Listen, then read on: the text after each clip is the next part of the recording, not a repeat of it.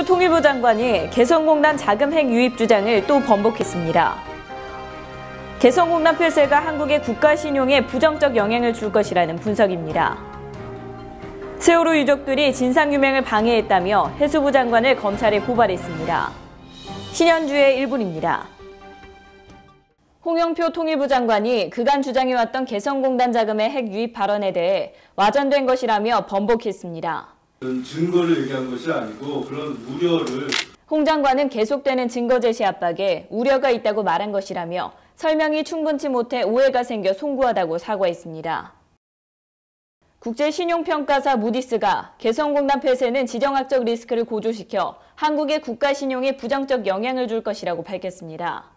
무디스는 이런 인식이 국가의 경상수지, 재정수지를 훼손해 채무 상환을 어렵게 하고 외국인 직접 투자를 낮출 것이라고 내다봤습니다. 세월호 참사 유가족들이 특조위 활동을 방해한 혐의로 김영석 해양수산부 장관과 여당 추천위원 6명을 검찰에 고발하겠다고 밝혔습니다. 유족들은 이들이 형법을 위반하면서까지 조사 방해에 앞장섰으며 무엇보다 대통령과 청와대에 대한 조사를 막기 위해 총력을 기울였다고 지적했습니다. 신현주의 1분입니다.